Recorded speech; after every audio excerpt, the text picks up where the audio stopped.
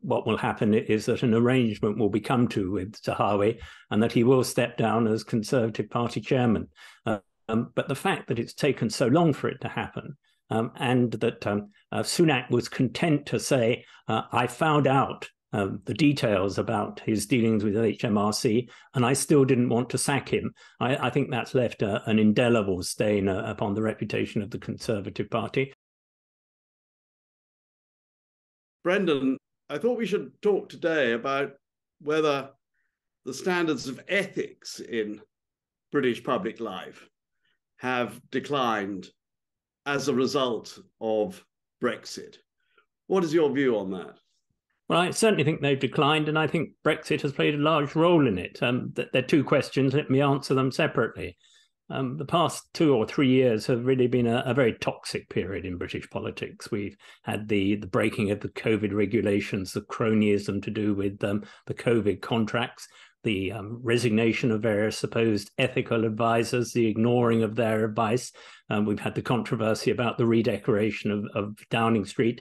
And today, or in the past few days, we found out about the chairman of the BBC having facilitated a, a, a loan for the then Prime Minister Boris Johnson when he was in financial difficulties. This this is a, a very toxic background, and uh, I think it's led to a disillusionment with democratic politics, which is very very dangerous. There's a, a shoulder shrugging indifference to politicians. Well, they're all like that. Um, uh, we can't expect anything better of them. But the culmination of this process, I think, has been uh, the matter of Mr. Zahawi.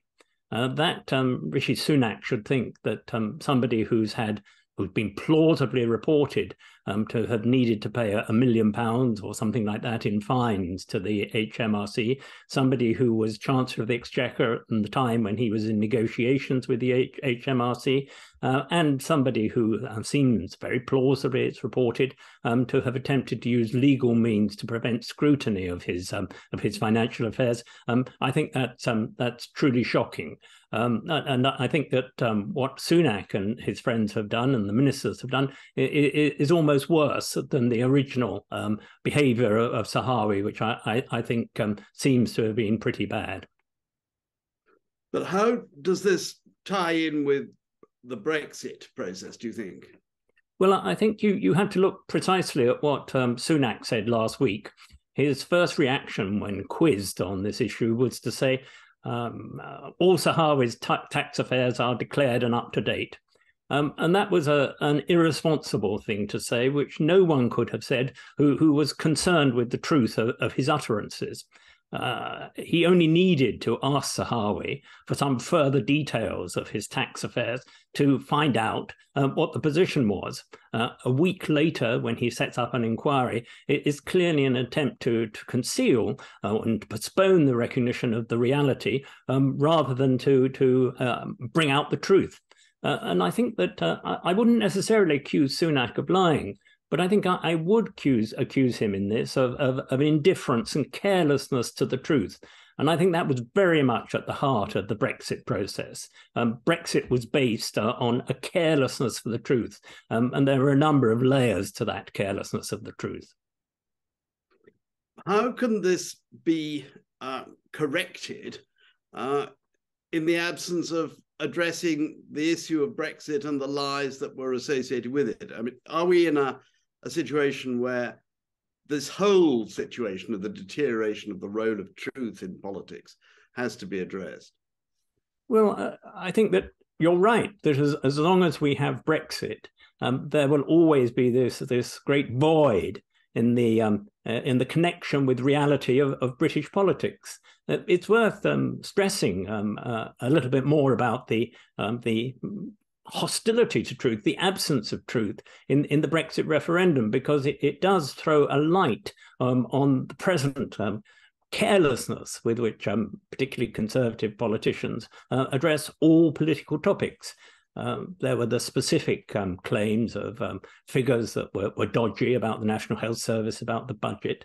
Uh, there were fig- there were meaningless slogans about how we're going to take back control and it's going to have it going to be a cakewalk. We're going to have our cake and eat it. None of this was true, but the remarks and the ideas were propagated on the basis that the people saying them and parroting them didn't necessarily believe those slogans. Um, people associated with the Leave campaign have admitted um, that they didn't necessarily regard as a, a firmly established, factually established, um, the um, uh, the things they were saying, but they were the appropriate things to say at the time in order to get a, a, certain political resonance to persuade people um, that Brexit w- w- was a good idea. Um, and I think that since um, the referendum, and indeed before the referendum, um, Brexit has always been associated with equivocation and carelessness with the truth. It goes back to, to before the referendum itself, and it's continued since the referendum of 2016. How would the corrosive effect of this uh, culture of, of lying, effectively, uh, be upon the underlying institutions of the state. I mean, of, there's been talk about the status of parliament being under under threat. There's been the question uh, over the position of the judiciary, um, the role of of uh, the Brexiteers in in manipulating uh, the the rule of law in some respects in order to achieve Brexit.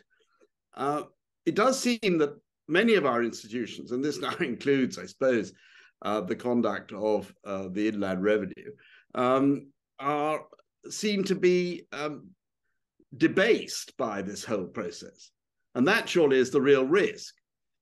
Well, I, I don't think it's a, a risk. Uh I think it's something which um, has been happening and is happening and is, is essential um, uh, at the heart of Brexit because Brexit um, can't be made to work. It's something which is of its nature damaging and undermining of our country, perhaps even more damaging than than Remainers like like us uh, realized at the time. I, am afraid I didn't anticipate the um, the, the, the debasement uh, of our institutions and the threat to the constitutional stability of the United Kingdom entirely um, that uh, that has has come about. Um, but if we go back to before the referendum, uh, there was this hope that uh, somehow Cameron would be able to set aside and re- resolve the issues of Brexit, of our relationship with the European Union. He thought it was possible to turn on and off his hostility to the European Union. Um, that was a, a, careless and thoughtless way of going about things, and I, I think we're we're still seeing the legacy of it today. Uh, if you ask about the institutions, I, I think it, it is necessary um, as, as a matter of cleansing um, to have a change of government.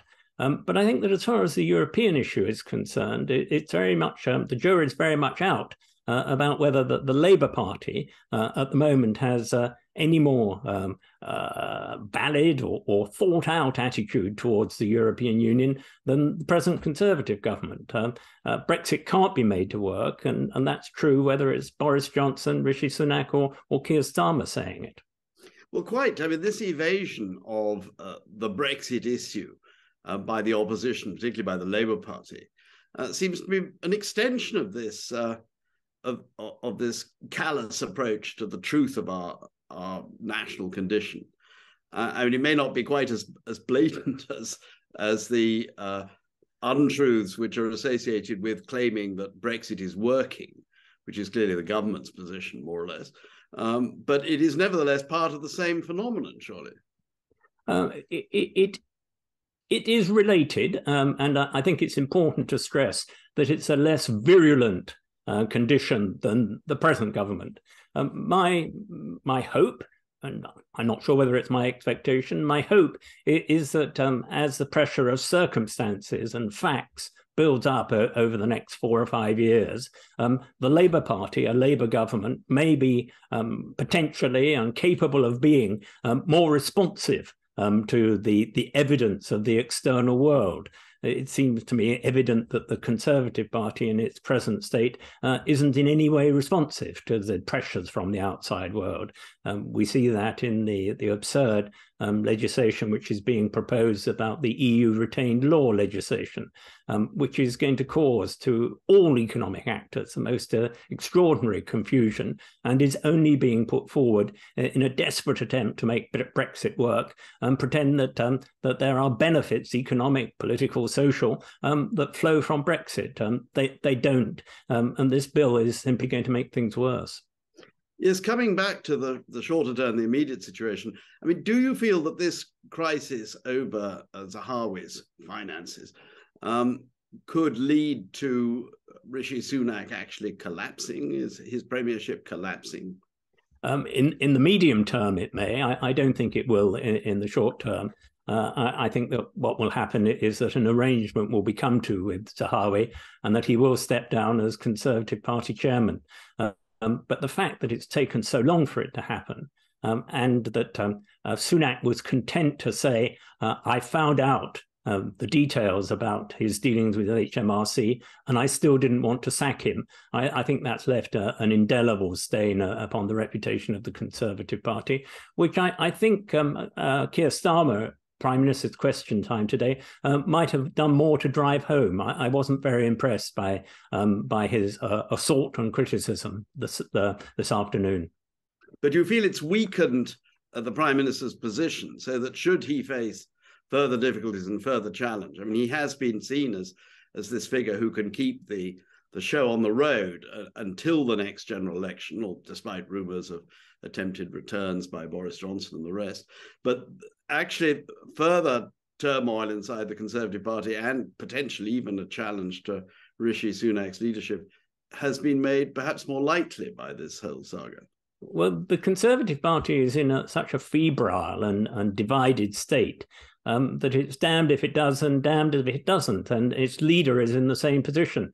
Um, uh, uh, perhaps only a weak leader uh, can keep the show on the road because a strong leader would be more quickly toppled by the um, uh, the opponents of whatever line or whatever ideas he or she w- was advocating. Um, I, I, don't think it's quite right to say that Sunak is weak. Um, I, I, think he has very few resources, um, but it may be his weakness that keeps him in, in place um, because the the conflicting wings of the Conservative Party can't agree on his successor. Well, we will see, presumably, uh, with the next test of his uh, leadership and his capacity to face uh, the truth of the situation in which he's in, uh, with the coming debate on the Northern Ireland Protocol and how that proceeds. Brendan, many thanks for this, and we will um, continue with further videos on the same topic. Thank you very much.